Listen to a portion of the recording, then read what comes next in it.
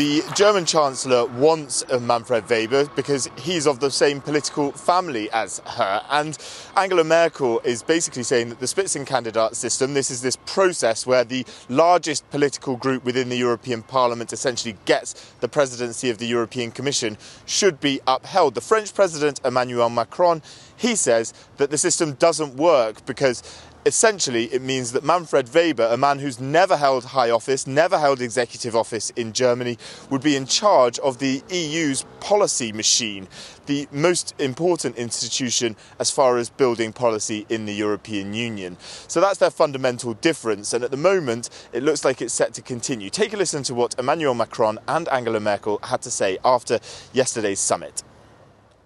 The key for me is that the people in the most sensitive positions believe in our project and for them to be the most charismatic, creative and competent. We've decided there's no automatic pass for the Spitzenkandidat. It's clear that the European People's Party is still the strongest group in the European Parliament, but at the same time, it now has no majority in the European Parliament either. And now everyone has to take their own advice. We agreed that we could not make a decision today.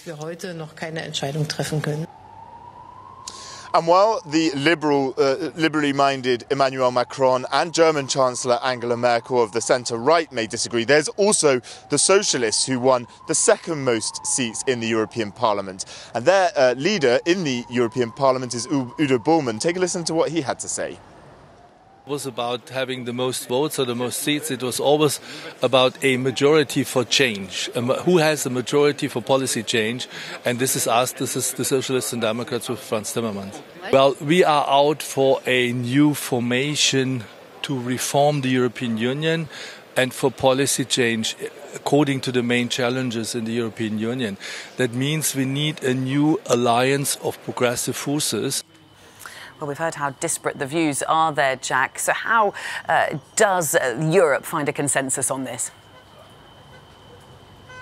Well, this is exactly what is going to have to need to happen at the moment. I've got Tom White here with me now from Global Counsel to discuss this. Tom, basically what's happened is that the EU leaders have said that Donald Tusk, the EU Council President, needs to go around national capitals and to the European Parliament to build consensus behind a certain candidate. What is he going to have to try and do? Uh, well, I think the task that he's been given really reveals the underlying challenges that the EU leaders have in finding a new president. I know that all of the attention is on the perceived flaws in Manfred Weber's experience or the huge disruption that's taken place in the European Parliament with the two main parties losing their combined majority for the first time. But actually, I think what underlies the divisions last night in the Council is a much more deep disruption that's taken place within the member states and within that council. We have to remember that in 2014 there were a lot of um, heads of state from Angela Merkel's party who backed her in backing Jean Claude Juncker. Whereas this time, of course, we have a um, law and justice prime minister from Poland, we have Giuseppe Conte from Italy, we have Emmanuel Macron from France. It's a much more divided council politically who will find it much harder to unite around an individual. And it's also the case that the next Commission President faces a much more contested set of policy choices than the previous um, incumbent Jean Claude Juncker. And you alluded to the power that the Commission has to propose legislation. And of course, their inbox this time includes uh, the trade war with uh, President Trump in the United States, it includes the fallout from what could be a rather untidy exit of the UK. It includes a desire for a stronger industrial policy towards China, many things that are more contested than Juncker's agenda of the single market and investment. And so, what, what we're going to see is an attempt to find a consensus, not just around an individual, but a bridge that can unite very different parties and a very different policy preferences.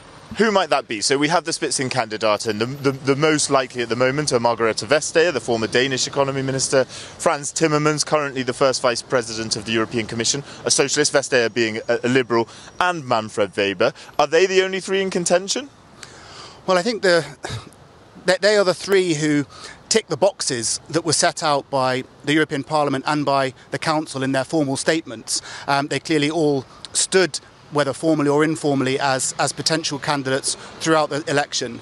Um, and they all in some way have a momentum behind them, have a base of support. But I think you also can't rule out the um, lead Brexit negotiator Michel Barnier, um, who has comes from the EPP group and therefore has a support potentially from Angela Merkel's party machine, but is also French and has maintained good links with all of the member states, in fact, throughout the Brexit process. So I wouldn't rule out an additional person coming through, such as Barnier. And Michel Barnier is indeed the bookies' favourites to take that position. There you go, Belle. There's a lot to happen. At the moment, we know that Donald Tusk has been tasked by German Chancellor Angela Merkel to try and get some consensus behind a candidate before the EU Leaders Summit on June the 21st.